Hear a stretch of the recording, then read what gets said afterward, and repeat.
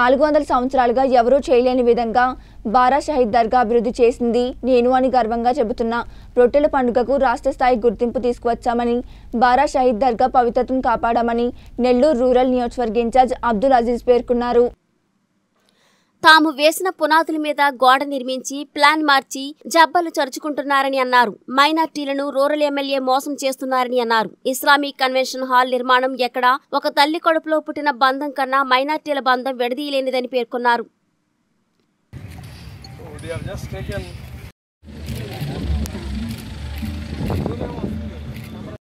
ఒక ఊరుంది. ఒక ఊర్లో ఉండే వాళ్ళందరూ వచ్చి సంవత్సరానికి ఒకసారి ఇక్కడ కలిసి నమాజ్ చేసే ప్లేస్ని ఈద్గా అంటారు.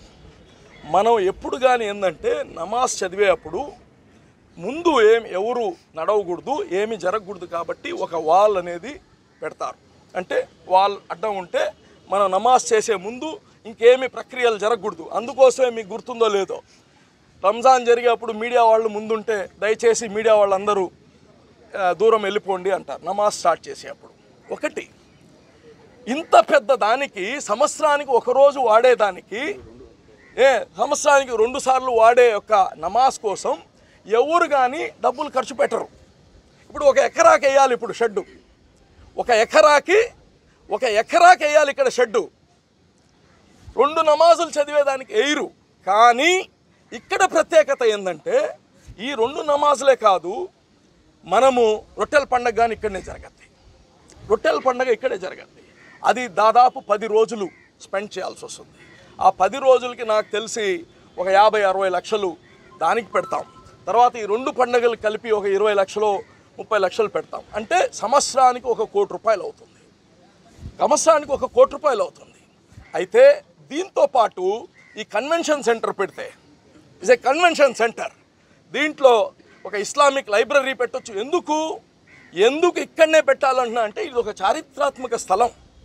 చారిత్రాత్మక స్థలంలో ఇక్కడ రేపు వచ్చినప్పుడు ఎప్పుడు కానీ ఒక ఇస్లామిక్ సెంటర్ ఉంటుంది. దాంట్లో పోయి లైబ్రరీ ఉంటాయి. అలాగనే రేపు ఏమైనా ముస్లిం సంబంధించింది ఇస్తిమాస్ అంటాం మేము. ఇప్పుడు ఎక్కడ చేస్తున్నాం? రోడ్లలో బ్లాక్ చేసి చేస్తాం. ఆ రోడ్లలో బ్లాక్ చేసి చేయాల్సిన అవసరం ఉండదు. మాకంటూ ఒక డెసిగ్నేటెడ్ ప్లేస్ ఉంటుంది. పదివేల మంది ఒక ఒక హాల్ లోపల కూర్చుంటారు. రేపు ఇస్లామిక్ ఏమైనా ముస్లింకి సంబంధించిన ఎటువంటి కన్వెన్షన్స్ చేసుకోవాలన్నా మీటింగ్స్ చేసుకోవాలన్నా సమాజం గురించి ఏమైనా మాట్లాడుకోవాలన్నా ఒక స్థలం ఉంటుంది ఒక ప్లేస్ ఉంటుంది ఒక షెల్టర్ ఉంటుంది. రేపు దాంట్లో యాభై మంది పెళ్ళిళ్ళు చేసుకోవచ్చు అవసరమైతే నేను చెప్పేది ఇది ఈ స్థలానికి అన్ని అన్ని వసతులు కావాలి. ఈ స్థలానికి మాత్రమే కావాలి. నేను చెప్పేది అన్ని ఈద్గాలకి ఇట్ట కట్టం ఏమవసరం ఇక్కడ ఏంటంటే రొట్టెల పండగ జరగద్ది. వేలాది మంది జనాలు వస్తారు. రేపు వచ్చినప్పుడు ఇక్కడ షెల్టర్కు ఉంటుంది. అన్ని విధాలుగా పనికొస్తుంది కాబట్టి దీన్ని ఒక ఇస్లామిక్ సెంటర్గా తయారు చేయాలనుకున్నాం. దీంట్లో దీంట్లో డబ్బులు ఎక్కువైపోయి చేసేది కాదు. డబ్బులు ఖర్చు పెడుతున్నాం మనం. సంవత్సరానికి కోటి కోటిన్నర ఖర్చు పెడుతున్నాం ఇక్కడ. అవి లేకుండా చేయాలని అలాగనే ఎప్పుడు కానీ ఒక చారి కథ. ఆయన వల వేస్తాడు వేటగాడు. ఆ పావురాలు ఉంటాయి. పావురాలు అందరూ ముస్లిం నాయకులు. ముస్లిం సమాజం. ఆ వల్ల అందరూ వచ్చేసారు అనుకుంటున్నాడు శ్రీధర్ రెడ్డి. ఆ బోయవాని కథ తెలుసా సారాంశం శ్రీధర్ రెడ్డి? బోయవాని వల ఈ పావురాలన్నీ కలిసి ఎగరతాయి ఈ పావురాలు. వల కొట్టుకొని పోతుంది. అలాగా ఈ సమాజాన్ని నువ్వు డివైడ్ అండ్ రూల్ చేయలేవు. అందరూ అందరూ మా సోదరులే నీ పక్కనున్నా నీ నెత్తినున్నా నీ ఎక్కడున్నా. సో మా రిలేషన్షిప్ ఒక కడుపులో పుట్టిన అమ్మ తల్లి కడుపులో పుట్టిన రిలేషన్షిప్ కన్నా ఎక్కువ. నువ్వు ఎన్ని వలలు వేసుకున్నా ఎన్ని గేలాలు వేసుకున్నా ఇక్కడ ఏం అవ్వదు.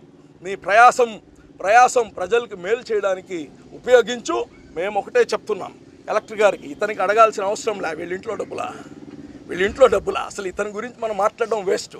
నేను అడిగేది ఈ ప్రభుత్వం మైనార్టీలకి డబ్బులు చేశాననింది. ఏం చేశారు? ఎక్కడ పోయాయి మా డబ్బులు? మైనార్టీ బడ్జెట్ డబల్ చేశా అన్నాడు. ఎక్కడ? ఒక్క రూపాయి. రంజాన్ తోఫా ఉందా? ఈరోజు ఆడబిడ్డల పెళ్ళిళ్ళకి డబ్బులు ఉన్నాయా ఈరోజు వృత్తి ముస్లిమ్స్ తొంభై శాతం చేతి వృత్తులపైన ఆధారపడిన వాళ్ళు ఆటో నగర్కు పోండి. డెబ్బై శాతం మా వాళ్ళు ఉంటారు. డ్రైవింగ్ ఇన్ దానికి పోండి. ఈరోజు ఆటో డ్రైవర్కి పోండి. అన్నిట్లో ముస్లిం సమాజం మ్యాక్సిమం మ్యాక్సిమం చేతి వృత్తుల్లో ఉండేవాళ్ళు. వాళ్ళకు లోన్లు ఇస్తూ ఉన్నాం. అది తీసేశారు. అన్నీ తీసేశారు. ఈరోజు మీరు చేసింది ఏంది? ఎక్కడే మా డబ్బులు అంటే పోయి నవరత్నాల్లో ఎత్తుక్కోవాలి. అమ్మ ఒడిల్లో ఎత్తుక్కోవాలి. మైనార్టీ సప్లాన్ ఎక్కడ జగన్ రెడ్డి? మైనార్టీ సప్లాన్ ఎక్కడ? ఈరోజు మేము కోరేది ఒక్కటే. ఈరోజు నువ్వు ఇఫ్తార్ పెట్టి ఇఫ్తార్ పెట్టి బిర్యానీ తినిపించగానే ఇక్కడ ఎవరు పడిపోయేవాళ్ళు లేరు. మేము ప్రశ్నిస్తాం. మేము ప్రశ్నిస్తాం. నిన్ను ప్రశ్నిస్తాం. నీ ప్రజాప్రతినిధులను ప్రశ్నిస్తాం ఈ ప్రభుత్వాన్ని ప్రశ్నిస్తాం. మాకు అన్ని తప్పుడు ప్రామిసెస్ చేసి అందరినీ దొంగదారి పెట్టించారు మీరు. ఇది కరెక్ట్ కాదు. మేము కోరేది ఒకటే ఇక్కడ ఏదైతే బ్లూ ప్రింట్ ఉన్నిందో ఆ బ్లూ ప్రింట్ని మీరు అమలు చేసి తీరాలి అని కానీ తెలియచేస్తున్నా.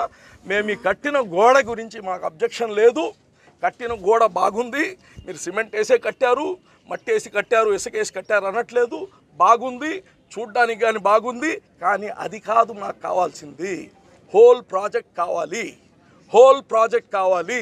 పది కోట్లకి శాంక్షన్ చేసిన ప్రాజెక్టు మీరు ఇమ్మీడియట్గా దానికి నిధులు తెచ్చి కలెక్టర్ గారు కావచ్చు కమిషనర్ కావచ్చు ఇమ్మీడియట్గా దాన్ని కట్టాలని కానీ తెలియచేస్తా ఉన్నాను అందరితో కలిసి ఇక్కడ శంకుస్థాపన చేసిన మసీదు కన్వెన్షన్ సెంటర్ పది కోట్లకు కట్టే ఈ యొక్క ప్రాజెక్ట్ని యాభై లక్షలకు కుదిచ్చి యాభై లక్షలు కుదిచ్చి రెండు కోట్ల నలభై లక్షలకి కట్టింది పక్కన పడేసి దాన్ని నిర్వీర్యం చేసి ఈరోజు ముస్లింల కోసం ఒక మిసయ్య వచ్చాడు శ్రీధర్ రెడ్డి అని చెప్పుకుంటా ఉన్నారు.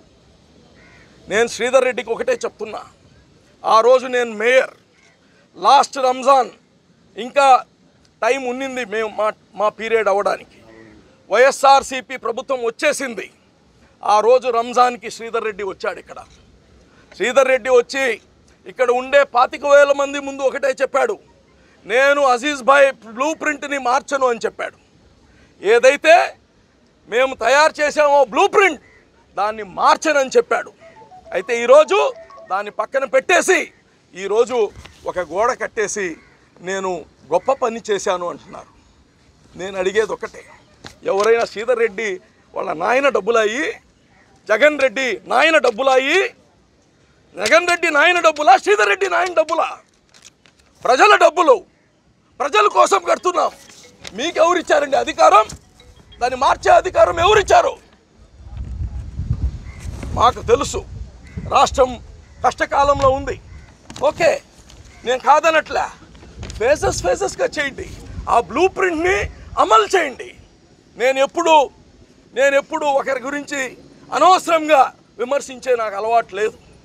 ఈరోజు నేను అడుగుతున్నా అంత పెద్ద ప్రాజెక్ట్ని మీరు నిర్వీర్యం చేసి రెండు కోట్ల నలభై లక్షల్ని ఆడ పెట్టిన డబ్బుల్ని నిర్వీర్యం చేసి ఇక్కడ ఏమి కట్టకుండా ఇరవై కోట్లు జియో తీసుకొని వచ్చాం.